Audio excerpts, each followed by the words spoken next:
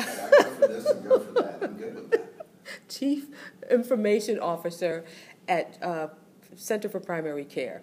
Thanks for coming in today, fellas. Thank you. Yeah, so you all were having a, a great conversation earlier about the poetic art forms. You were talking about you know music and how it ties into poetry and and how uh, country music. Is, I mean, you don't have to be educated, but Greg's got academics in his background, and Barry, you have you have song, and so kind of bring the audience up to speed on what you all were talking about. First, by you know just introducing yourselves. I know you, you've introduced yourself, but again, I'm again. Greg Tredore. Um, as as um, Lucinda said, I am a professor at Georgia Military College, an assistant professor of English. I teach all the Englishes over there. Um, I hold my degree is uh, in poetry. It's an MFA from the University of North Carolina at Greensboro. Um, and before that, I've done a number of different things. And we were just talking about music because I was just telling Barry that I actually played bass for a while in my teen years. And I'm Barry Allison. I'm uh, the Chief Information Officer for Center for Primary Care. Um, my, I wish that my full-time job was associated with the thing that I love the most. However, um, uh, the second part of what I enjoy in my life, being able to take abstract components, pieces of data, things that are uh, things that exist in, in, in ways and manners that most people can't conceptualize at times, put it into put it into forms and concepts that people can understand. Music is a lot like that. My background is theology um, from uh, Columbia University and uh, Liberty University in Lynchburg, Virginia. Uh, and I've been playing drums and percussion for 30 years, uh, which really, at this point, makes me feel a lot older than I did before I walked in the door because uh, I'm, I'm barely 33. No, I'm just kidding. So, um, so it, it, this is my first time meeting Greg. We were talking about similar uh, backgrounds. Greg plays mu- or played music, stringed instruments, and um, my mom and dad always referred to me as, uh, "Are you still beating those drums?" Not that there was any talent or any form, uh, just beating the drums. So I, I, whenever I ask that question, I always say yes. So, but we were talking about music and poetry, and uh, one of the things that in in a previous conversation, actually, when we first walked in, we were discussing, you know, the similarities in, in the manner in which someone writes a poem, and, and I think, Greg, what, what I would like to understand from your perspective, because you, you teach on a daily basis and you're, you're working with, you're reading the, the concepts and thoughts of your students. What do you find in this day and age? What do you find people writing about and talking about when they're expressing themselves? Oh, a large number of different things. Ethnicity, political topics have really become popular in poetry in the last 10 or 15 years. Almost all the great poets are in some way or another political, but I don't mean that in a revolutionary sense, like oh, they're part of the IRA or the Black Panthers or anything like that, but they're writing about um, politics in terms of their personal experiences with it. Um, we still do get your typical lyric poem, um, or I can't say typical because everyone's experience is different, and lyric poems are just as good. Um, but that's one of the most striking things that I see. And also, the, a new form of poetry that I was actually just interest, in, introduced to last night by my wife is not really about what writers are writing about, but whose words they're stealing.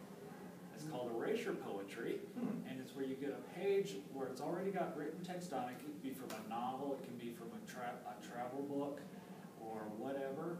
And all you do is you find words that you want to use for a poem, and then you scratch everything else on that page out. Mm. And then you just see Very these words scattered all over the page. The interesting thing that I'm, I'm finding music and, and being a music connoisseur, I, I feel like I was born with a, a, a, a drumstick in my hand. My, my mother's family, uh, she has nine brothers and sisters. They were all musical, they were, but they were all stringed instrumentalists. Um, fiddles, they're from north of the mountain, North Carolina. Fiddles, banjos, mandolins, guitars. So I'm the only drummer. I'm the only, um, I, I like to think of myself as a visual timekeeper Mm. um, in the family. And what I find, what I'm finding in music and thinking, growing up with, with uh, everything from gospel to classical, Elvis was really big. Uh, matter of fact, I, I saw Elvis twice um, live. Now, I was very young, but I remember it. He was a very charismatic um, performer, just, just amazing. One of the things that I find in, in, in music today is that people write about what they would like to do and what they want to do. And several years ago, people wrote about what they had done, what they'd accomplished. You know, I think about from my um, from my days in studying theology, I think about David, um, King David, and I think about his you know the Psalms, and I think about the Proverbs, and I think about some of the things he was writing about. He didn't write about things that he that he necessarily hoped for. I mean, not, I'm not saying he never wrote about that, but he wrote about the things he did on a daily basis, and he not only wrote about uh, his, his days that he was up. He was a realist. He wrote about the things that he struggled with from moment to moment. And, uh, you know, it, what's sad is that we find ourselves living for things and not for the moment. Mm, good point. And, uh, and so I, I don't know, and I find that in a lot of music. I don't know if you find that you know, in poetry. It, it definitely shows up in poetry. Um, all of, a, a, a large amount of it, you know, as I said, is all written before it's political. Too, we do see a lot of, uh, and, and it's kind of common to see despair in poetry. But the despair in poetry these days is much like what you were talking about. It's despair, a despair over what people want, and not a despair over what somebody had and lost. You know, the, the, um, what was it? The, what's the cliche about it? Shakespeare's? It's better to have loved and lost than never have loved at all. You know? And that's the, you know, even though it's a cliche, the thing about cliches is they tend to be true. Uh, and um, there's not, this kind of strays from poetry, but I was reading an excellent essay by a, a science fiction novelist named Philip K. Dick. He's responsible, if you saw the movie Blade Runner, uh, Minority Report, Total Recall, he wrote the novels and stories all those are based on. And he's waiting for the day when um, we lose our humanity. And he says the scary thing is going to be when the day comes when we shoot an android and it bleeds, and we shoot a human being and smoke comes out of them. Wow. And you know, and, and that goes along with what you're saying because you know we have so this, this despair about what we want to do, hmm. what we, we and we keep ourselves from doing it because we get involved in this daily grind of living for things. Hmm. Well, I have a question. Um, so it, it, seems like the, the, the, commonality here in terms of humanity, what people write about, what people sing about, the internet, and I think that you had, both of you had kind of alluded to it earlier.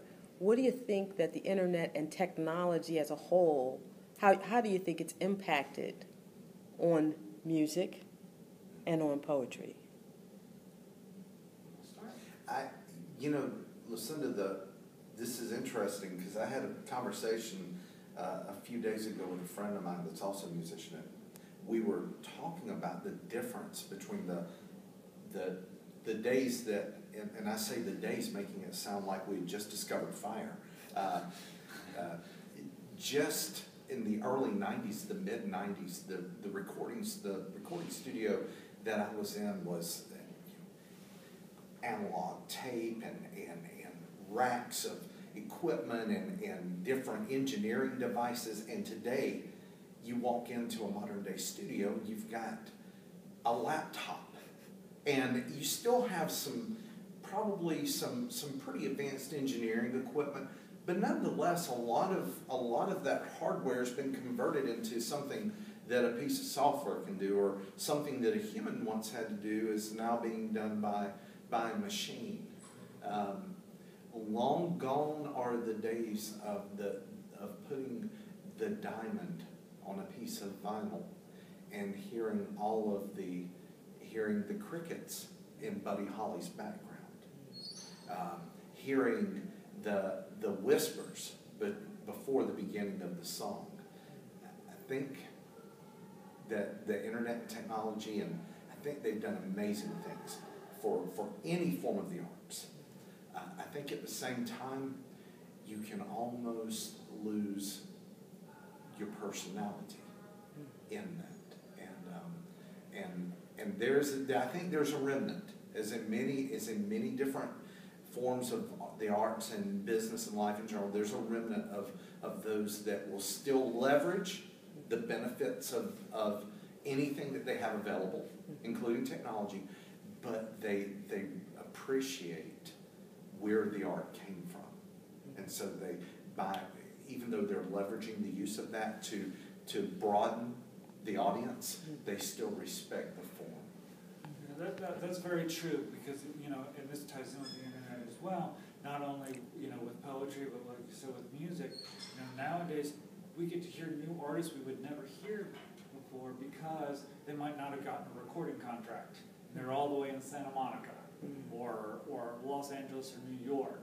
But now all they have to do is upload it onto the internet, mm-hmm. and you can hear it. Mm-hmm. You know, and it's really, really interesting, and, and that's one of the benefits I see out of it. But like you said, you know, you walk in the recording studio, have auto tune for people's voices, Yeah. you know, and things along those lines, which I think are detrimental because it's kind of like lying to your audience about your abilities. You know, and, um, and, and the same thing too does occur with poetry. It has done great things for poetry. It allows us to read authors who we might not have ever had a chance to read because they too might not have been published in journals. And, it- you know, and when you're published in a journal, a print journal, and one of the issues is what kind of mood was the editor in that day? Yeah. Because if the editor was in a crappy mood, he might have passed over a great poem by a great poet. Sure. And these days, you know, that poem can still be put online. Same thing with bad poetry, though, too. Yeah, and that and that brings me to my next question. Because the internet actually, like you, like both of you have said, gives a- um, gives audience access to say otherwise unknowns. But there's also a lot of good poets and musicians who are being discovered, but there's a lot of bad stuff out there too. A lot of bad stuff. I'm going to cut that later. But what do you what do you um, if if you could if you could say change change some aspect of that? So I mean, do you think that it needs to be filtered? Do you think that there needs to be, or do you think that it should just run free? Everybody who has a, who has the thought that they want to be a poet, or everybody who has a thought that they want to be a musician, just because they can go and get a laptop, or just because they can, you know, uh, uh, put together a, a, a, um, an EPUB file, they should be they should be published, or they should be uh, considered um, musical talent. I mean, do you think that there should be still be gatekeepers? Because as a as a person who uh, who sits and uh, we just we just judged a poetry contest, and we we received poems from all over. And based on what you were sharing, Greg, some of them are uh, say middle schoolers or high schoolers, and they this is their first effort. Some of them are senior citizens who had the dream of being poets, and they decided I'm going to give this a shot. Uh, and so, as we go through it, the judges go through the process. We are, um, well, I am always amazed at uh, the, what, what people are thinking and the, in the creative process. But I would not have access to, I would say, at this point, maybe 90% of the entries that we receive if it were not for the internet. And so um, I, I, I understand the benefits, but there's a lot, as a publisher, I've seen what it's done to the publishing industry, and there's a lot of authors out there who self-publish, who you know get a thought in their head, and they, they put it together in a book in book form, and they put it out there, and maybe they should have given it more thought, or maybe it's something that they should have just you know, I don't know. I, I understand freedom of expression, but maybe they should have just you know, if they didn't have the internet, they could have just written it down, and then put it in a drawer. Hmm. And so I am one for uh, having to have to read through many queries and, and, and, and listen to, yes, I'm that person that you describe on a sleepy day. I may have passed out, you know, the, the next great bestseller, but I can live with that now because there's so much. We are just overwhelmed. Um, I, I, I, I wonder should we should we start thinking about ways to restrict it or where are the new standards i guess that's as i'm as i'm streaming it where what are the new standards now i mean I, think that, I think there will always, and I'll, I'll, I'll use this analogy, and I've used it before in, in, in other settings. Um, I think that there is a place, um, I think you, you, inundation is almost an art. And we choose, we choose what palette we allow, and we choose what goes on that, we choose what we allow ourselves to be inundated with, okay? With that said, there's always gonna be a market for fool's gold, but there's always gonna be a refining fire. It's very interesting. The way gold becomes gold, well, I won't take you back to the, to the pressure, pressurization and underground, but in, in the refining process, uh, the, the goldsmith actually takes the gold and puts it in, in, in this device and they start heating it up. And as they heat the gold up, the impurities rise to the top. Well, they take a flask and, uh, and they, they remove the impurities and then they turn up the heat a little bit more. They continue to do that until they can see their exact reflection. Every, no matter, no matter what we allow ourselves to be inundated with, no matter how much information's out there, we, at the end of the day, have complete control over the throttle. And we also have complete control over what we consider to be good and great. Yeah, but, but, but to piggyback on that, that means that instead of having the, like publishers or critics or pe- the gatekeepers of any industry to determine a standard of that which is good, it's just a free for all now. I mean, so how, how do we get to that process that you just described? I mean, the impurities rise to the top, just like you say, cream rises to the top. But how do you get to the cream when it's just so much? In the in, in, in the jar, in, in the flask. I mean, there's just so much there that you're just scraping off, scraping off, scraping off, and you never get to. Well, I hate that. I, and I don't want this, if this is publicized on the internet, I don't want anybody to take it the wrong way, because I depend upon this tool uh, a great deal, but just don't depend on Google. You know, uh, get out of a Google, and I hate to say it like that, but get out of a, get out of that mindset.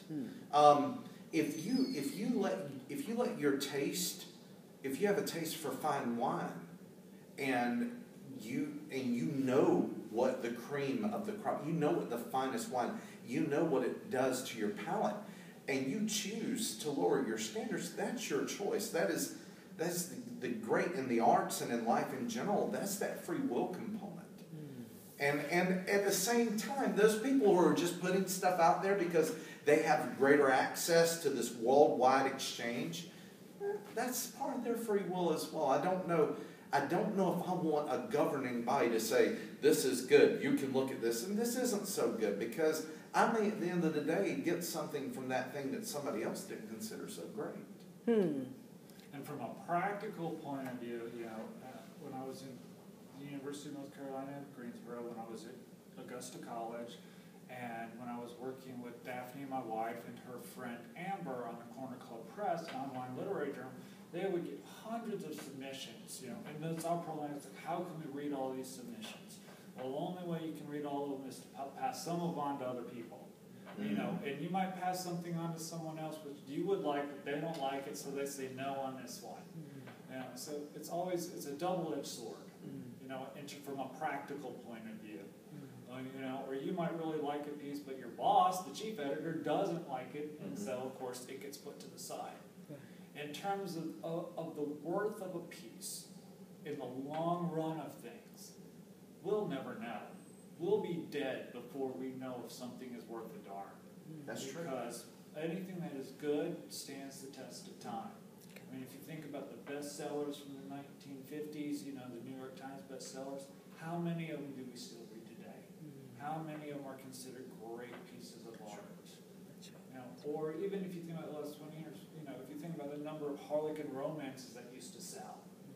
You know, people would, you know, make their living off of Harlequin romances, and, but we don't read those in literature books or anything along those lines, you know, and so, you know, but nobody's reading Harlequin romances anymore. Mm-hmm. You know, now sadly enough, they're reading Fifty Shades of Grey.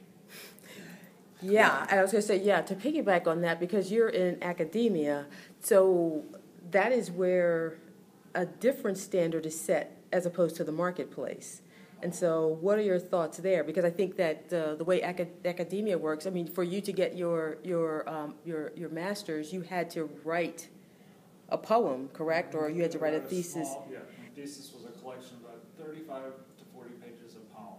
Right. None of which I would like anyone to see now, Ah. because I feel as if, you know, I've moved on from there. Um, but, you know, I got a lot out of it, and, you know, it was in academia, but the great thing about it was, even though we had to take academic courses, the focus was on our poetry. Mm. And we didn't look at it the same way, you know, there's a big difference between MFA programs in colleges and a PhD in Victorian literature. Okay. One's like a studio, much like a painting MFA, MFA, I guess you could say, except you're using words. Whereas a PhD in Victorian literature is more analytical, more scholarly, so on and so forth. So, so it's like if for for academia, one teaches you to look within, and the other, or I guess when you go to the next level, it teaches you to uh, study and observe that which was written and stood the test of time. Mm-hmm. Exactly. Okay, And I thank think- you. and- that's a And I think that's the great, that's what I've learned when I, when I look at poetry, I look at, or, or even music, you know, you think about popular music from the nineteen seventies. No one really listens to it anymore today unless they make fun of it. Mm. Because some of that disco, some of that, that soft rock with the cheesy lyrics. But don't get me wrong, there's also some great movie, um, great music being written in the seventies. You know, you still had the Stones, you still had Led Zeppelin, you still had very, you know, still had music where, where the substance was there. And, and the, which is also the basis for uh, a lot of what's being written. I- And, you know, music's interesting, and I don't know if, if poetry is this way, but with music, there's nothing new under the sun. Tell me the last time, if you understand music theory, tell me the last time a new chord or note's been created. There is nothing new under the sun. It is the manner in which it's arranged. Acts- You know, I tell my student, my creative writing students that because a, a cuneiform, I think it was a cuneiform tablet, I don't remember if it was cuneiform or not, it was something, you know, from the Middle East. Um, and it was a, um, a, poet, I don't know if it was Sumerian or whatever, had, we found, they found this little clay tablet, and uh, a poet had written on it, what can I say, everything has already been said. And this tablet was 3,000, 4,000 years old, and we've still had three to 4,000 years worth of poetry, and three to 4,000 years worth of music, pretty much. Mm-hmm. It's, it's an interesting, you, you go back to the seventies, and, and now, I don't know how old you are, Greg, I'm, I'm assuming you're probably late thirties. Yeah, or a little low. Okay, A little, okay. a little Yeah, you know, that's, I'm, I, I never wanna go there, seeing that I'm only eighteen, I don't, didn't wanna offend you, no, I'm just kidding. Yeah, I joke with my students, I say, even though I'm over thirty, I still don't trust anyone over thirty. There you go. Um, I want you to think, you probably lived through the eighties, matter of fact, talking about one of the oddest times for music and pop culture. It was, it was odd, but at the same time, there have been so many different bands and, and not, I would say genres, a, a twist on a genre.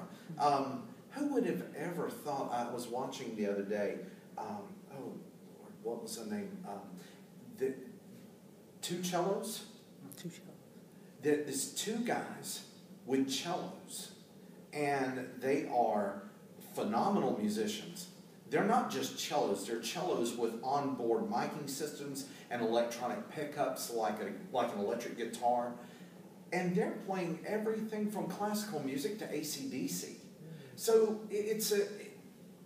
There are different things in in in music that took place, and I think because I don't believe in luck or coincidence, I think had to take place.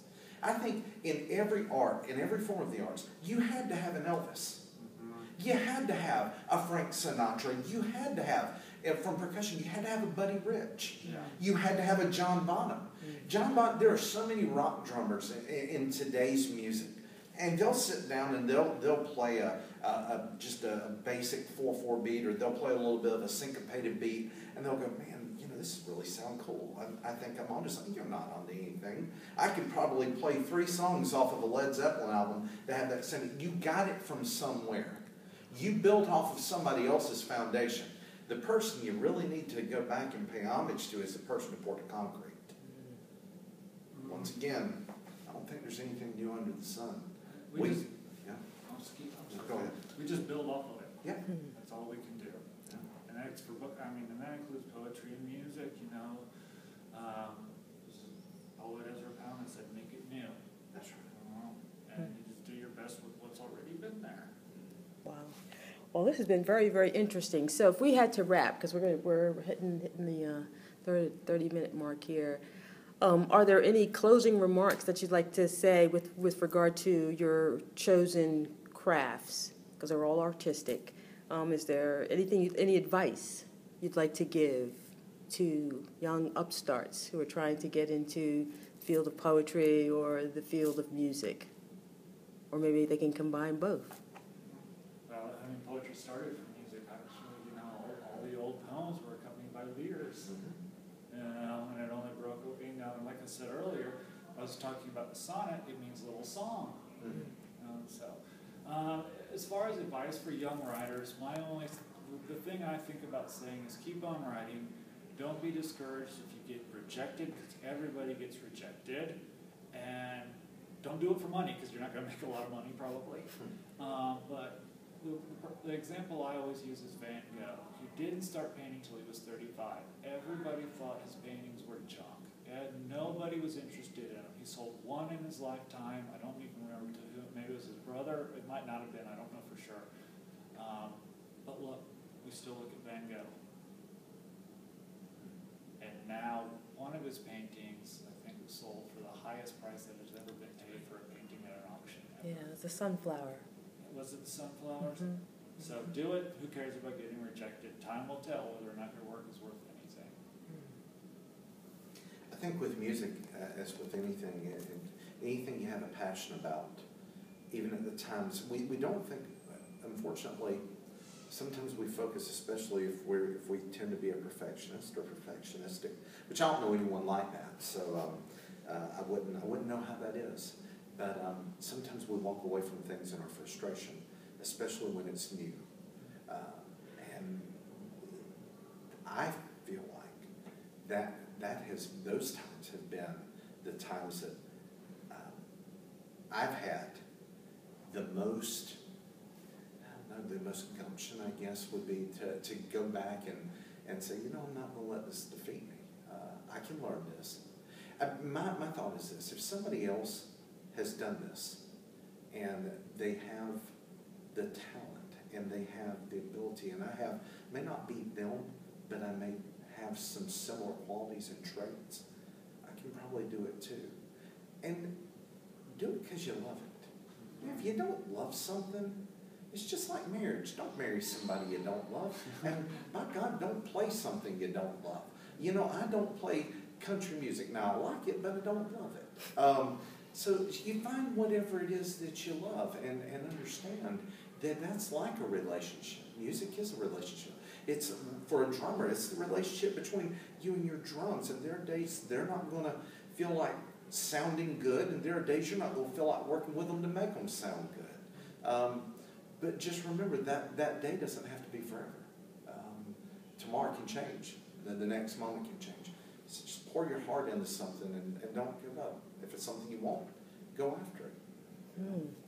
Wow, words, wise words, wise words. Hmm. Gentlemen, thank you so much for sharing your thoughts today. Um, but we're going to um, post this up to uh, YouTube, and here's to getting many, many hits.